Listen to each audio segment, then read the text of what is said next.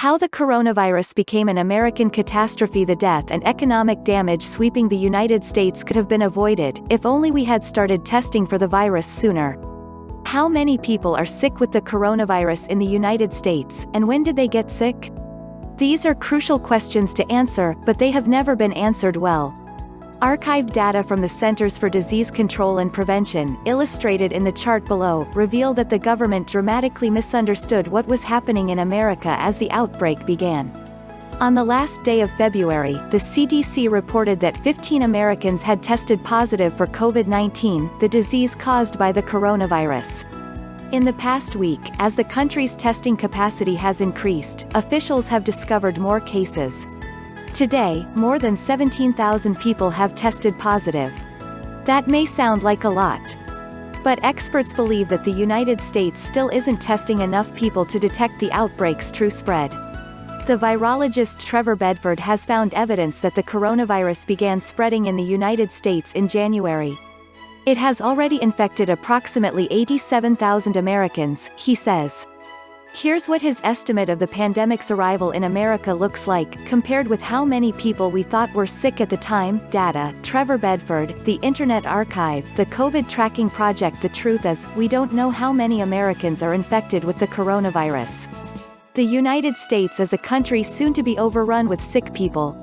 As the positive tests for the new coronavirus have ticked upward, so, inevitably, will the deaths. A study published this week by Imperial College London predicted that unless aggressive action is taken, the coronavirus could kill 2.2 million Americans in the coming months. A day after that study was published, its lead researcher developed a dry cough and fever. He had COVID-19. When Wuhan began burning with infections in December, the U.S. government took only illogical, inadequate actions to stop the virus's spread, it banned foreigners from entering from China but inconsistently monitored Americans returning from the country. The president laughed off the virus and the Democrats' response to it, calling it their new hoax, which immediately polarized the citizenry's response to precautionary public health information. When the sparks of this conflagration hit, Seattle was aflame before anyone at the CDC had started to reach for water. COVID-19 is an American catastrophe, a slow-motion disaster only now coming into view. When its true proportions have been measured, it will make the early government response look even more outrageous than it already seems. What's happening here, in this country, was avoidable. Nearly every flaw in America's response to the virus has one source, America did not test enough people for COVID-19. Testing should have told doctors how to triage patients and hospitals when to prepare their wards. It should have allowed governors to gauge the severity of a local outbreak and informed federal officials as they allocated scarce masks and ventilators. Testing should have answered the all-important question in any pandemic, how many people are sick right now? Had the nation known that, the systems that were put into place over years of pandemic planning could have powered on, protecting millions of Americans and containing the illness. Instead, the CDC botched its own test development. It sent testing kits to state public health labs with a non-functioning ingredient. And by then, the virus was already spreading. It was already spreading as the Food and Drug Administration held up independent labs that had made their own tests. It was spreading as samples piled up, as the world's top virology researchers pleaded to be permitted to test them and as the FDA denied their requests. The virus was spreading as a delay in test kits became a national shortage. When community transmission in the United States was discovered, and states and hospitals lacked the supplies to diagnose even a dangerously ill patient, it was spreading. When a week passed, and the market began to collapse, and the country had barely tested 1,000 people, it was still spreading. Even as kits started to trickle out, the CDC and many state officials clung to restrictive rules that allowed only patients who had traveled internationally or been exposed to a known case to be tested, even though the coronavirus was already clearly spreading in American offices, daycares, and movie theaters. Doctors and nurses with all the symptoms of COVID-19 were denied tests because they could not prove exposure. The virus was still spreading. Every six days that the country did not test, every six days that it did not act, the number of infected Americans doubled. The way no one expected how this response would fail in the U.S. is the testing, Nahid Bhadelia, the medical director of the Special Pathogen Unit at Boston University School of Medicine, told us. She is an expert in infectious diseases and pandemics, and oversees the medical response program at one of the few labs in the country permitted to handle the pathogens that cause Ebola, anthrax, and the bubonic plague. If you don't know where the disease is early in the epidemic, you have no hope of containing it, Bhadelia said. Even now, testing is that Achilles heel, it's the crack that is making its way throughout our entire response. Without testing, there was only one way to know the severity of the outbreak, counting the dead. On February 29, Washington state confirmed that a man who had been at the Life Care Center outside Seattle had died, the first American death officially attributed to the virus. According to a now archived version of the CDC's website, the United States had, by then, tested 472 total people. The death came at the end of a month that was America's last chance at containing COVID-19. But it was too late. February had been lost. On the last day of January, Trevor Bedford, a scientist at the Fred Hutchinson Cancer Research Center, in Seattle, hit publish on a 484-word blog post that should have shaken the nation. Bedford is one of the country's experts on the evolution and infectiousness of viruses. Virus genomes are like tree rings, they provide clues to where a virus came from and how many times it's been passed from person to person. With the outbreak raging in Wuhan, Bedford had been studying the genetic sequences of the new coronavirus that Chinese researchers had posted. By January 11, six were in the record, which allowed him to reconstruct the relationships between the individual strains. Though the World Health Organization insisted that this new coronavirus had limited human-to-human -human transmission, the genomes told Bedford otherwise. Whatever this virus was, he suspected it could spread easily among strangers, like the common cold or the flu. Six days later, when a pair of travelers in Thailand came down with a similar illness, and researchers published the genome of the virus that had infected them, Bedford's worst fears were confirmed. An epidemic had already begun. The new coronavirus had slipped the cordon in Wuhan, and was out in the world. As this became clear to me, I spent the week of January 20 alerting every public health official I know, Bedford wrote that month. On January 23, the Chinese government, which had spent weeks trying to cover up the virus, swung into action. It locked down the city of Wuhan and by mid-February had restricted the movement of 700 million people.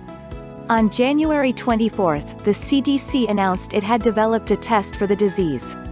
The FDA wouldn't approve it for another week and a half. This was the moment that epidemiologists had spent years dreading and anticipating. Almost every city and state in America had a pandemic preparedness plan, reams of paper ready to put into action. King County, in which Seattle and Kirkland sit, had a plan, of course. The last revision, dated October 2013, forecast the consequences of a pandemic flu in now eerie detail. The country, they predicted, would be faced with deaths that could range into the millions. The pandemic has the potential to suddenly cause illness in a very large number of people, who could easily overwhelm the healthcare system throughout the nation. No vaccines would be available at first. Community services could break down. Everything could become disrupted, for several weeks, if not months.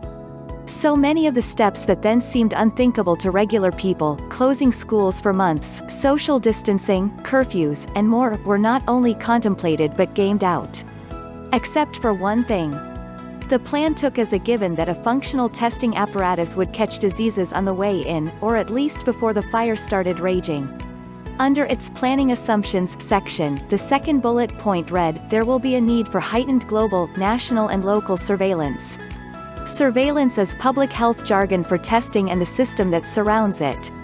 The planners knew there would be a need, they barely considered that it would not be met. A heightened local surveillance system serves as an early warning system for potential pandemics and a critical component of pandemic response plans, they wrote in another section of the report. Local surveillance during a pandemic outbreak provides important information regarding the severity of disease, characteristics of the affected population, and impacts on the healthcare system. For every contingency that was considered, every difficulty and problem was assumed to be downstream of the high-quality information that would flow from the testing system. Without data about American cases in hand, how to handle the virus would become a matter of guesswork, not judgment. In late January, as Bedford began to warn public health officials, there remained, according to the president, nothing to worry about. We have it totally under control, President Donald Trump said at Davos. It's one person coming in from China, and we have it under control. It's going to be just fine. On or about January 15, someone infected by the coronavirus arrived in the Seattle area, Bedford's research would later show. The virus began to silently spread in the region. It would not be detected for another six weeks. If there is one thing about the novel coronavirus that you must understand, it's that it is a firecracker with a long fuse. Here is what the explosion looks like. Every six days, the number of people infected by the disease doubles, according to estimates from Bedford and other epidemiologists. At the start of February, Bedford now believes the United States had something like 430 infections. If American interventions have done nothing to slow the disease's spread, then his simple calculations show that more than 120,000 people could be infected by this weekend. Because of the great uncertainty, it's probably most appropriate to give Bedford's range, about 60,000 to 245,000 people are now infected with COVID-19 in the United States. An invisible fuse sets off this burst of disease. If someone is infected with the coronavirus on Monday, she may start being contagious and infecting other people by Wednesday. But she may not start showing symptoms until Friday, meaning that she was spreading the virus before she even knew she had it. And in some cases, infected people take 14 days to start showing symptoms. The onset of symptoms starts another awful clock. Many people will recover in a few weeks. But if someone's case is severe, he may not recover for a month. And even if someone's case is fatal, she may still survive for three weeks. This means that, first, cases discovered now may not become deaths for weeks, second, some people who will die in early April may only start showing symptoms today. Mitigation efforts must burn through the same fuse. Even the decision to lock down the Bay Area, the country's richest region, will not relieve pressure on the medical system for weeks. Both of these factors mean that time is of the essence. This virus hides effectively and doubles quickly, but it kills slowly and painfully, and it kills most effectively when medical care isn't available. This makes the coronavirus a particular disaster for the American hospital system, which after decades of streamlining has little spare capacity. If the coronavirus was in the United States, it had to be found early, before too many explosions could go off. Helen Y. Chu, an infectious disease specialist at the University of Washington, thought she had a way to detect COVID-19's arrival. She directed a monitoring program called the Seattle Flu Study, which studied the spread of the seasonal flu and collected samples from sick people on an ongoing basis. What if some of those patients didn't have the flu at all, but COVID-19?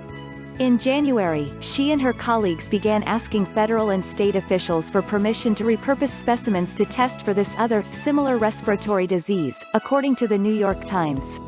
They turned her down then, and they kept rejecting her requests as the weeks wore on.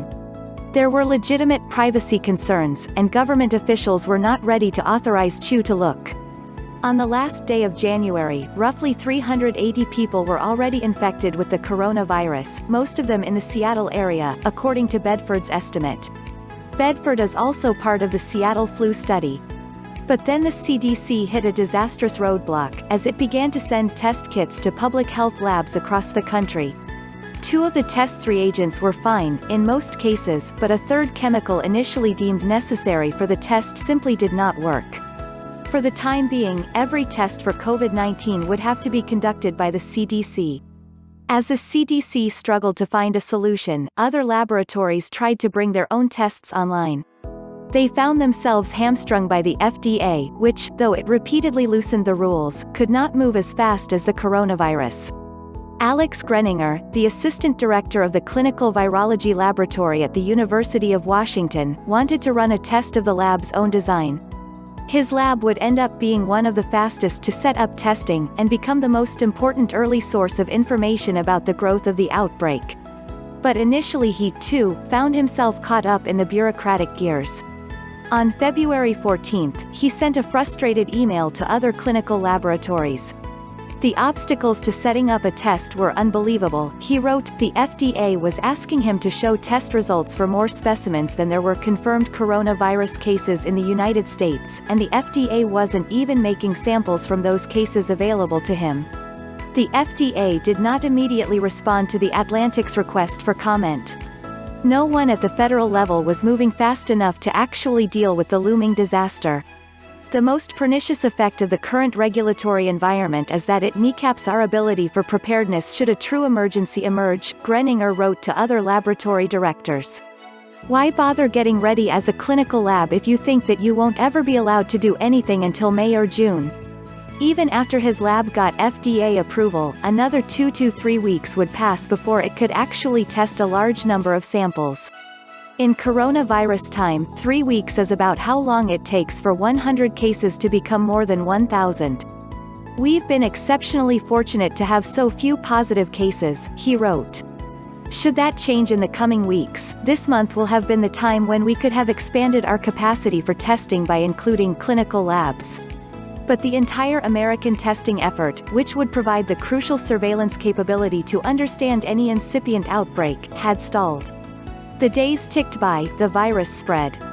American Public Health Labs, which generally have far more capacity than the CDC, had completed only 16 tests, maybe a handful of people, by mid-February. All the way to February 26, only 102 specimens, or perhaps 50 people, had been tested by those labs. Overall, the CDC had tested fewer than 500 people, if the US had a small number of cases, it was only because no one was looking for them. We just twiddled our thumbs as the coronavirus waltzed in, William Hanage, a Harvard epidemiologist, wrote in the Washington Post. Perhaps because of the wildly constrained supply of tests, the criteria to get one were strict. You basically had to go to Wuhan, lick someone, and then develop pneumonia. No one from the federal government even tried to look for community transmission in the United States. In late February, the president voiced his hopes that the numbers are going to get progressively better as we go along. They would not.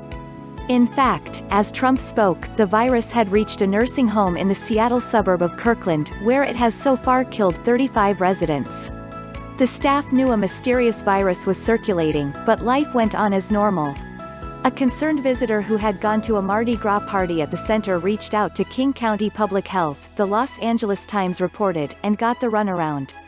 On February 26, the CDC confirmed what should have been clear much earlier, community transmission in the United States had begun. The coronavirus was now spreading among Americans who had not traveled abroad or known a confirmed case. At least 60 people in the country now had the virus, according to the CDC's totals at the time, and, as researchers and analysts soon realized, the true number was almost certainly much higher. The CDC's website now says that there were already 268 cases in the United States by that date. When Japan had nearly as many confirmed cases, it closed every school in the country. But because of the testing backlog, the United States remained unaware of its infection rate and the president encouraged happy thinking. As CDC officials warned that the number of cases could soon quickly rise, Trump disagreed. Within a couple of days, he said, the number of cases is going to be down to close to zero. That's a pretty good job we've done. Bedford now estimates that roughly 7,640 people in the United States were already infected. Chu, the Seattle infectious disease specialist, decided not to wait for government officials any longer. As the United States declared the first cases of community transmission, she tested through Greninger's lab without official approval and got a positive. The meaning was obvious to her. It's just everywhere already, she later told the New York Times. Under pressure to get tests out, the most important fix that our national agencies could make was to simply allow labs to start testing people, in a description that has now been removed from the CDC's website, the agency gave labs simple instructions, they should use the two working reagents in the old kits. These instructions could have gone out weeks before they actually did, Greninger says, because they relied on the supplies that the CDC had already sent. Meanwhile, Bedford began examining the new coronavirus strains from patients in Washington state, just as he had, six weeks earlier, analyzed the Asian samples. The Seattle area specimens led him to a devastating conclusion. The viral genomes were too similar to have arrived in the United States at different times, from different people, but they were also too varied to have arrived recently. By the end of February, the disease had not only established itself in the United States. It had been circulating for close to six weeks. Seattle, on March 1, found itself in the same position as Wuhan did on January 1, with a growing coronavirus outbreak that was on the verge of exploding. If Seattle went the route of Wuhan, the nation had three weeks before being set on a track in which hundreds or even thousands of people might die in Washington state alone. If a fire was raging in Seattle, it would throw off sparks across the country, hitting many more. The clock required urgent action, on March 2, Bedford pressed Seattle officials to implement social distancing policies immediately. If the epidemic grew any further, well, the CDC knew what might happen. Widespread transmission of COVID-19 in the United States would translate into large numbers of people needing medical care at the same time, the agency warned in a passage titled What May Happen on the coronavirus page of its website public health and healthcare systems may become overloaded, with elevated rates of hospitalizations and deaths. One day after Bedford published his warning, the CDC announced that it would stop reporting how many people in the United States had been tested for the coronavirus. Donald Trump shared his views on Fox News the following night.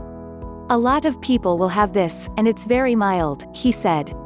They'll get better very rapidly. They don't even see a doctor. They don't even call a doctor. The virus was now clearly spreading, but the CDC still seemed stuck in neutral. On March 10, CDC Director Robert Redfield described his agency's strategy to the New York Times. It's going to take rigorous, aggressive public health, what I like to say, block and tackle, block and tackle, block and tackle, block and tackle, he said. That means if you find a new case, you isolate it. Redfield's advice would have sounded reasonable back on Planet A, where the U.S. surveillance apparatus had not failed so spectacularly, but it was almost nonsensical on Planet B, where we all now live. Almost no one was getting tested, so how could anyone find a new case? A few days earlier, a state-by-state -state investigation by The Atlantic found little evidence that more than 2,000 people had been tested nationwide. We also found that many states had effectively no ability to test for COVID-19, and the few that did, Washington and California, were already deep into their local outbreaks. After we published the story, reports flooded in from across the country from people who had been denied tests, or doctors who couldn't get one for patients who they believed needed them. In some cases, even doctors who had treated COVID-19 patients were not able to get tested, as we heard from dozens of frightened and frustrated people across the country, President Trump told reporters, anyone who wants a test can get a test. This was and is still not true. The scarcity of tests forced officials to ration them. States, counties, and hospitals implemented strict rules about who could qualify for a test. The rules, while based on CDC guidance, were often too limited, given how widely the virus had already spread. They asked about foreign travel and confirmed exposure to a COVID-19 positive patient, weeks after it was clear that the virus was in the United States and that many cases were going undetected. At least 19 states have used a version of the rules that made it effectively impossible to detect the first signs of community spread in a state or city, in the few places where officials have tested people without known exposure to COVID-19, they have found the virus. In Sonoma County, California, the Public Health Department asked four hospitals to test the first 20 patients who walked in the door each day with any coronavirus symptoms, even if the patient had not traveled abroad or been exposed to another known case. They started the project on a Friday. They had found a positive by Saturday, all we needed was one case to say, yes, we have community transmission, Jennifer LaRoque, a spokesperson for the county, told us. In other places, the criteria have prevented residents from understanding the true extent of community spread. Nebraska, which hewed closely to the rules, insisted it had only one case of community spread, even as suspicious cases filled ICUs, according to a 35-year-old doctor who asked not to be named, because she was not authorized to speak with the press. Nebraska announced its second case of community spread on Wednesday, The state has tested 800 people total for the coronavirus, the chief medical officer said. The federal government's reliance on CDC data about the severity of the outbreak froze efforts to stop it. Even after Bedford's warning, the government published no studies of viral mutation. The void forced leaders to act on the basis of risk, not solid information. How could a mayor shut down her city if it had only 10 for sure cases? How could a CEO tell employees to call off their trips, and not to Western Europe or Central China, but to Seattle? American cities, blinded by the lack of testing data, did little as crucial days went by. On March 7, as the severity of the local outbreak was becoming known, huge events were allowed to go on. More than 30,000 people attended a Seattle Sounders game that night. No one wanted to say what has now become clear, February was our chance to get this right. We lost that entire month. And we now live in a new era of work stoppages, overwhelmed hospitals, dead elders, and a wrecked economy. No one had the guts to say what needed to be said over the past month. To save our people, we will have to keep our cities in a chokehold and decimate our economy. It would have taken guts and the full-throated backing of every level of government and agency, as well as irrefutable data, for local officials to do something like that. No one told them to, and the data did not exist for them to come to that conclusion on their own. Without strong federal leadership, each state has been going after its own solutions and running its own show, as if its residents would stay neatly within their own state lines.